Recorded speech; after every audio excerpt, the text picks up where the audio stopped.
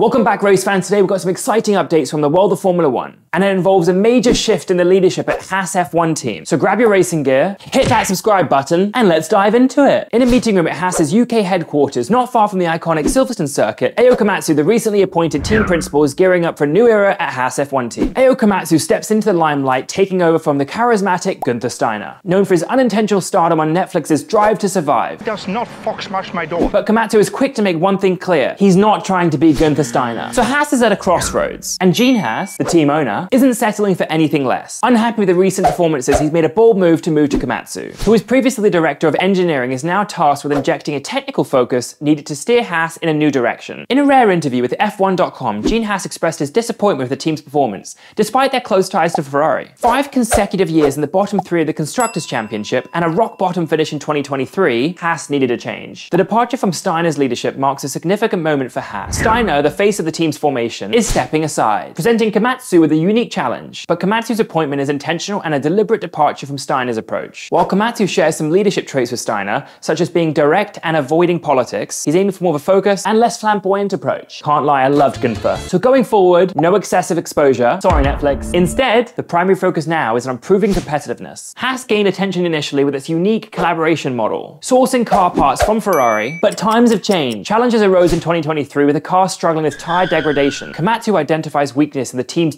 geographical divide, particularly the split between the UK and Italy. This, he believes, hindered car development and is part of his ongoing review. Now, what about the upcoming F1 season? Well, Komatsu is cautious about revealing specific plans, but emphasizes commitment to improving competitiveness. The new car, set for a shakedown at Silverstone February 11th, represents a step forward. However, Komatsu acknowledges it may not be enough to compete with rivals due to a late season design change in 2023. The focus for 2024, showcasing improvements and stability. So there you have it, folks. A new chapter for Haas F1 under Ayao Komatsu's leadership. Will their changes bring them back to the top? Only time will tell. Make sure to like this video, share your thoughts in the comments, and stay tuned for more thrilling F1 updates. Until next time, keep those engines roaring.